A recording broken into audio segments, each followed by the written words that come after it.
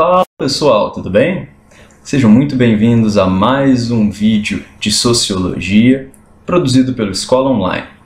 Eu sou o professor Gabriel e estou aqui para tentar ajudar vocês no tema de direitos humanos com a resolução, ou melhor, com uma ajuda, um auxílio ali nos caminhos para a resolução da atividade de vocês da semana 4, ok?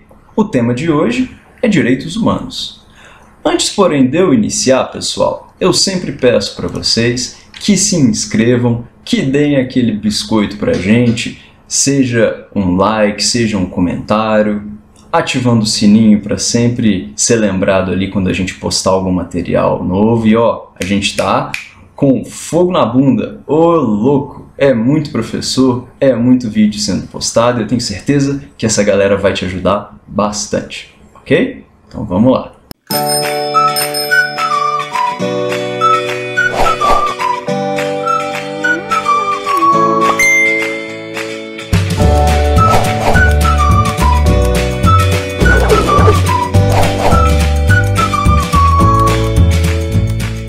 Pessoal, como eu mencionei lá na introdução, o que ficou para vocês da semana 4 de Sociologia foi uma atividade somente.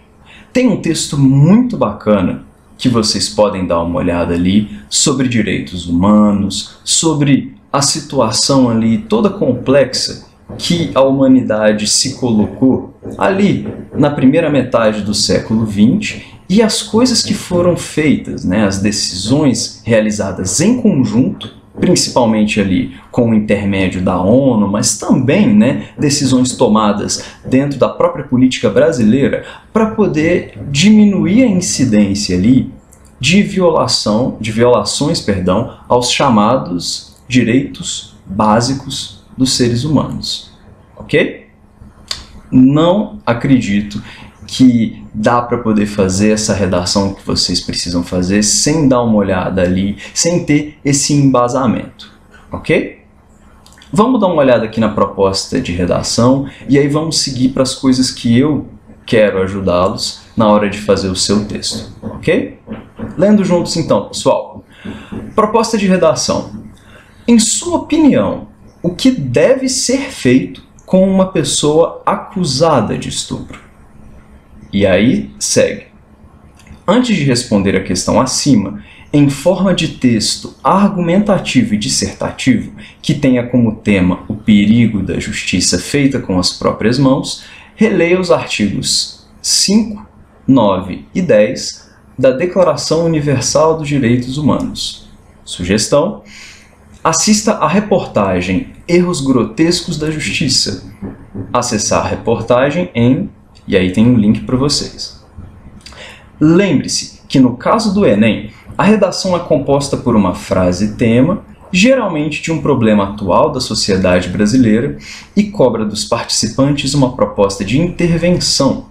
O texto deve ser escrito em até 30 linhas e na forma de dissertação argumentativa. Busque escrever um texto objetivo e que relacione os argumentos e dados obtidos com a leitura dos textos contidos nesse plano de estudo e no documento sugerido para fundamentar a sua estratégia argumentativa. Então, pessoal, o que, que eu acho que eu posso ajudar vocês em relação a esse texto dissertativo que vocês têm que fazer? Vamos lá então para eu tentar ajudar vocês com alguns subsídios, pessoal. Primeiro, observem isso aqui. Eu peço para que vocês tenham atenção àquilo que foi pedido. Eu sei que às vezes bate uma brisa, você está com pressa, quer escrever o texto de qualquer forma, com toda a rapidez, mas a afobação é um inimigo nesse momento. Primeiro dei uma olhada ali na frase título da proposta. O que deve ser feito com uma pessoa acusada de estupro. Lá atrás, vocês devem ter visto que a palavra acusada está em negrito. Isso não é por acaso. É fundamental, para começar, que você entenda que a acusação é um primeiro passo. Né? Acusações podem haver de várias e várias coisas, e, claro, uma acusação é uma coisa seríssima. Entretanto, dentro de um sistema judicial, existe uma etapa de acusação, um momento ali em que isso é investigado, em que isso é julgado, para dali se ter a punição. E por que, que eu estou falando isso para vocês? É porque logo abaixo, o autor ali da questão joga o tema da sua redação.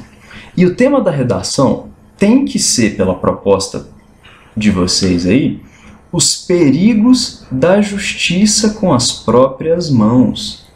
Então, olha só. O que uma pessoa muitas vezes pode acabar fazendo nesse texto é pular direto para, por exemplo, é, você linchar a pessoa, você matar a pessoa, você prender a pessoa. Entretanto, o que o avaliador quer é que você entenda que a acusação é um primeiro passo. Essa acusação pode ser comprovada ou essa acusação pode ser eventualmente não comprovada, certo?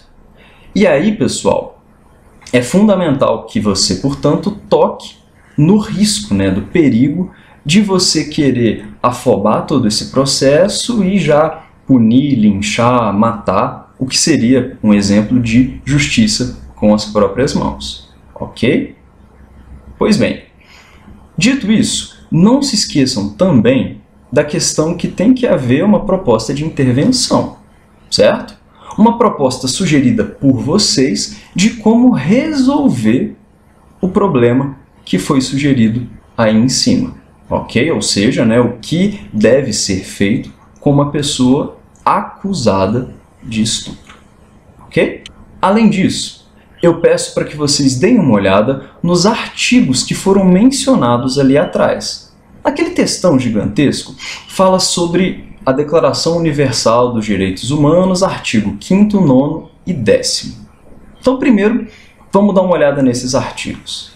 O quinto. Ninguém será submetido à tortura, nem apenas ou tratamentos cruéis, desumanos ou degradantes. Artigo 9. Ninguém pode ser arbitrariamente preso, detido exilado. Artigo 10. Toda pessoa tem direito a um julgamento público, imparcial e independente. Pessoal, esses artigos aí da Declaração Universal dos Direitos Humanos não são lei no Brasil, certo? Tipo assim, esse documento aí, pessoal, não é uma lei que o, o, o policial tem que é, é tem que respeitar, que o juiz vai julgar. Vamos entender primeiro, então, o que é a Declaração Universal dos Direitos Humanos? Olha só, essa declaração, esse documento, foi produzido aí em 1948 e é uma união de vários e vários princípios que os países ali dentro da Organização das Nações Unidas se comprometeram a respeitar e a defender. A Declaração Universal dos Direitos Humanos, pessoal, foi produzido em 48, numa época logo depois da Segunda Guerra Mundial. Lembra da Segunda Guerra? Pois é, esse conflito horrível que aconteceu na Europa, na Ásia, na África, na América, no mundo inteiro. Nesse conflito, vários e vários crimes foram cometidos. Pessoas, como os judeus, foram tratados de formas horrorosas, colocados em campos de concentração. Pessoas foram presas sem um motivo aparente, sem uma acusação, sem um processo formal, fraga, de você ser preso, entender por que, que você está preso, ter oportunidade para se defender. Então, a Declaração Universal de Direitos Humanos foi um documento produzido dentro desse contexto depois dessas crueldades todas da Segunda Guerra, e o objetivo dele é evitar que seres humanos sejam tratados de formas indignas. A ideia da Declaração Universal de Direitos Humanos não é ser tipo uma lei, mas é ser um conjunto de princípios para os países respeitarem. Princípios importantes ali com alguns direitos que todo ser humano deve possuir, não porque é flamenguista ou atleticano, mas porque é um ser humano. Entende?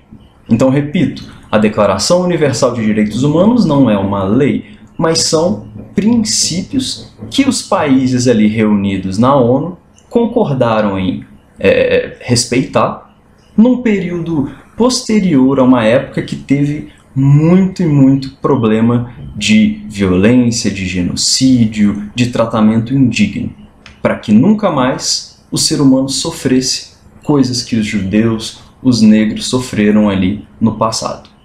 Ok? Esses três artigos se relacionariam diretamente ali com o tema que foi proposto, não é? Primeiro, ninguém será submetido à tortura nem apenas ou tratamentos cruéis, desumanos ou degradantes. O que isso tem a ver? Muito.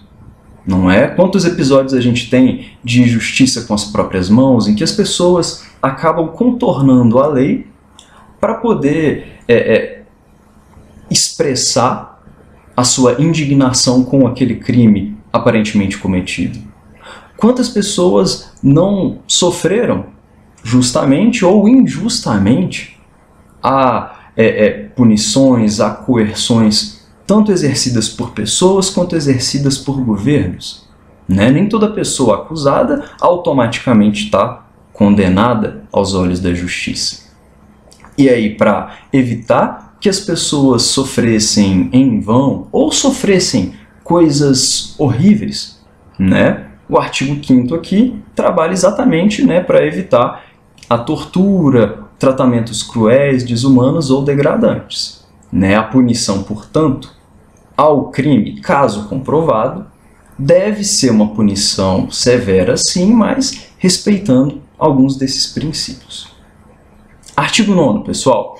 Ninguém pode ser arbitrariamente preso, detido ou exilado. O que, que significa isso, arbitrariamente?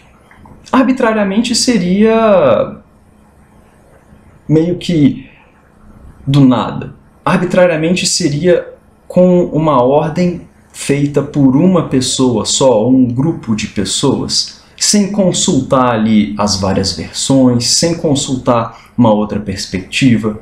É isso que significa o arbitrariamente. Então ninguém pode ser arbitrariamente preso, detido ou exilado. Complementando a isso, o artigo 10 toda pessoa tem direito a julgamento público, imparcial e independente.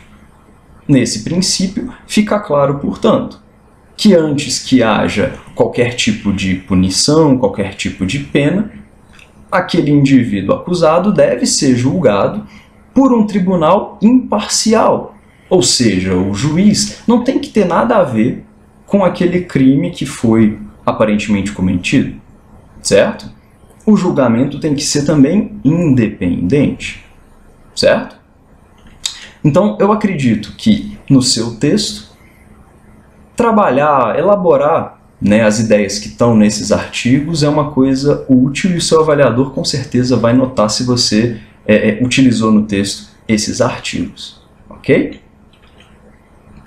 Finalmente, pessoal, também a indicação do material que vocês deem uma olhada nesse documentário aí, ó. Erros Grotescos da Justiça, produzido em 2017 pela TV Record. E o que, que trata aí o documentário? O documentário trata de dois indivíduos que foram presos injustamente. Isso em BH. Esses dois caras foram, foram acusados e condenados pela justiça por terem é, é, cometido crimes sexuais contra mulheres, isso nos anos 90. O problema é que eles foram acusados, como eu falei, e condenados por engano, ficando ali, inclusive um deles, mais de 20 anos na cadeia, injustamente. Certo? O que eu imagino que eles estão querendo, né, os indivíduos avaliadores estão querendo de vocês, é que vocês tenham ali uma perspectiva a respeito da possibilidade de falsos julgamentos, e inclusive no documentário trata isso também, da possibilidade de você destruir injustamente né, a vida de uma pessoa, acusando-a e condenando-a por um crime, fazendo ela sofrer por uma coisa que às vezes ela nem cometeu. Ok? Então dê uma olhada ali no documentário, dê uma olhada também nos textos sugeridos, nos artigos aqui que estão em cima e muito atenção ao que foi pedido. Ok? Com isso, façam aí a sua dissertação argumentativa com a cara de vocês, no máximo 30 linhas, ok? Então, pessoal, é isso. Espero que vocês tenham aproveitado.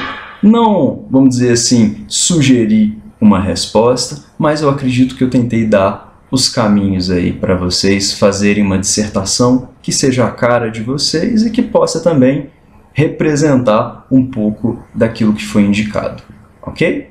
Então, é isso, pessoal. Muito obrigado e bons estudos!